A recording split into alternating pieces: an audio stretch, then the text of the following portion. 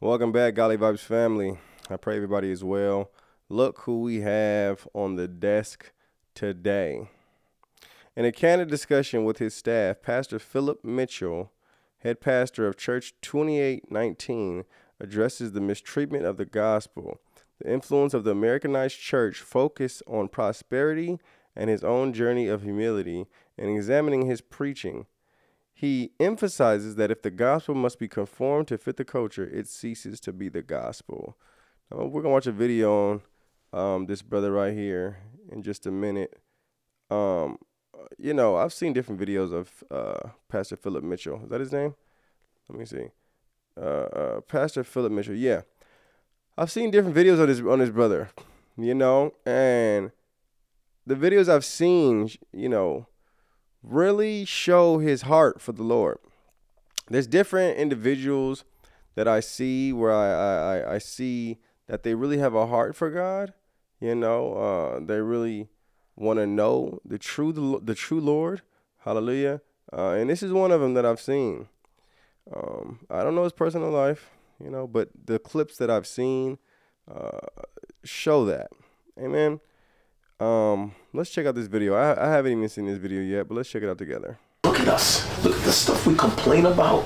Listen to our prayers. Look at the things we prioritize. Look at what we have made the gospel. Look at the songs that we sing. Look at the things we're always begging God for. I mean, just really just look at us. I, I just gotta wonder after listening later how pathetic we must look to the Lord sometimes with some of our prayers and some of our antics and some of our shenanigans and our foolishness and all of the self-help we keep preaching across these platforms. Self-help and we turn every sermon about our benefit, our gain, us, us, us, us, us, us, us. And you can't preach that in Uganda. Look at all the stuff we preach in this country that masquerades as the gospel. Right. That you cannot preach in Uganda. And if we can't preach it in Uganda, Ryan, then is it really the gospel? You see? And what we do is we take we take the gospel of Christ and the teaching of the apostles, we Americanize it to make it prosperity driven. This is why I gotta be careful my own teaching. Because some of the stuff you share over here, you cannot share that in Rwanda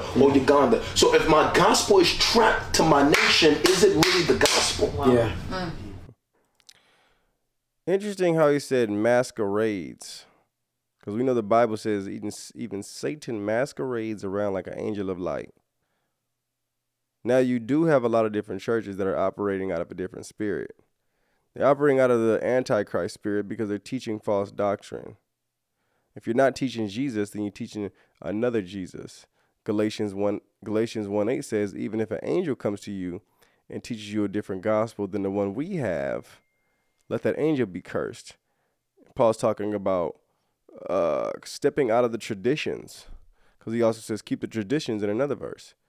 You know what I mean? And, you know, a lot of people think to themselves, uh, well, she's talking about a physical angel from heaven, you know, with wings flying down and telling me something else. No, not necessarily. It doesn't have to be like Joseph Smith or Muhammad. It could also be talking about uh, a messenger. Because in the Bible, where um, in the Bible, the word messenger the Greek word is angelos. It means angel. You know what I mean? So when the Lord was saying John is his messenger, he was saying John is his angel. You know, so a pastor or, or a preacher could be teaching you a different doctrine, and they could be an angel teaching you a different doctrine. Somebody who's supposed to be a leader in the Lord's house, somebody who's supposed to be somebody who's looked up to to feed you God's word could be teaching you a different doctrine. And that's happening in a lot of churches. I'm telling you, my brothers and sisters, people don't understand, but that's happening in a lot of churches. I get a lot of, I get a, listen, I get a lot of different messages about the whole once saved, always saved thing. Uh, once saved, always saved thing. And it scares me. It scares me. One of the main things I always ask him, I'll, I'll say, well, the word of God says, those who endure to the end shall be saved. Have you endured to the end yet? Or do you know anybody who has endured to the end yet? Listen to me. If anybody on this video can comment in the comments right now, somebody that they know who has endured to the end, let me know. Put it in the comments. That's still alive. If no if you haven't endured to the end yet, then you must be what? Working out your salvation with fear and trembling. Too many people want to feel comfortable. That's not how they preached back in the days.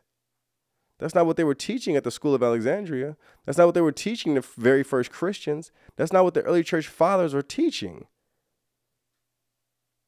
It's as simple as this, my brothers and sisters, because Jesus said there would be a great falling away. That word falling away is the uh, the word apostasia. It means defection from truth.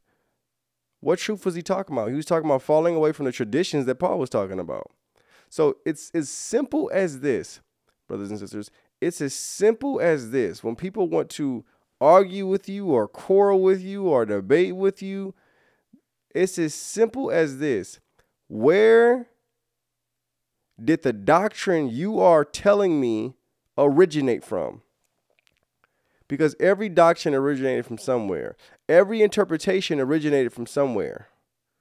And my point is this if it did not originate from the very first Christians, the very first apostles, disciples, because we have their writings as well, and their writings coincide with their fathers, with the apostles of Jesus. If it does not originate or line up with their teachings, it's false doctrine. It's that simple. It's that it, it's as simple as that. If what you're telling me does not line up with what the first Christians were being taught, it's false doctrine. You have failed from the traditions that Paul was talking about when he said, keep the traditions.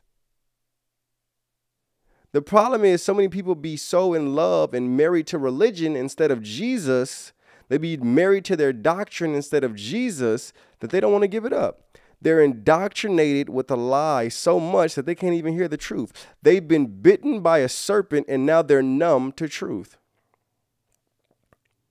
Honest. This is exactly why I say it's easier to teach an atheist. I'm going to say it again. It's easier to teach an atheist than it is to teach a Christian who's already been indoctrinated with a lie because they have to renounce what they've said. I, I, listen, I was talking to a sister the other day. You know, she has a lot. Of, she she has a lot of she has a lot of doctrine in her. She's been indoctrinated listening to a certain individual, right? So she's in the process of renouncing what she knew to understand what she should know. And that's a hard process. That is hard. That is difficult. That is difficult. But, you know, the Lord says, He'll say, Depart from me, I never knew you to Christians. He said, They'll say, Lord, Lord, I prophesied in your name. No, Lord, Lord, but I casted out demons. Who does that? Christians. Why will he say that? Well, that word new is the Greek word gnosko. It's a Jewish idiom for sexual intercourse. So spiritually, he's saying, I never impregnated you with my word. What is his word? Luke 8 11 says the seed is the word. That word seed is the Greek word sporos, which also means sperma. It's talking about God's DNA. So if the Lord is saying, I never impregnated you with my word, that means you have a false word. You've been learning from a false teacher. Somebody has been teaching you a different Jesus that is not Jesus. So the Jesus that you've been getting taught is a false Jesus that you think is a real Jesus. So when you actually meet the real Jesus, he's going to tell you, I don't know you. Is that registering? This is why it's important to go back to the traditions that Paul was talking about. This is why it's important when I ask somebody, where did that doctrine originate from? Is it what the very first Christians were being taught? If not, it's false teaching. This is why I don't get mad at individuals. I feel sad for them when they come at me and say different things like this and come at me with different doctrine that I'm, I'm aware of is completely false and heretic. It's heretical, it's heresy. But I don't get upset with people anymore. Listen, once you are in truth and you are in the true Christ, you are completely in true doctrine and pure word, pure interpretation. When people try to argue with you or say different things to you, you don't get upset with them. You want to help that soul. You want to help that soul. If you get upset with somebody for something, you have a different spirit in you. If they can rise anger in you, where's your patience? Where's your long suffering? Are you enduring? No. Is that really Christ in you that's getting mad? Oh, yeah, this is righteous anger. I can't stand him. Really? Last time I checked, Yeshua was nailed to a cross and said, "Lord, forgive them, for they not they not they not know what they do." Are you are you being nailed to a cross? Somebody taking your life right now? If you truly have Christ in you, when somebody persecutes the Christ in you, you should be saying, "Father, forgive them, for they not know they not know what they do." Now that's Christ. Amen. I love you guys. Let me know what you guys think of the video. Put your notifications on, you guys. Turn your notifications on because YouTube shadow bans me. Amen. So turn your notifications on, my brothers and sisters. I love you guys. God bless. Shalom.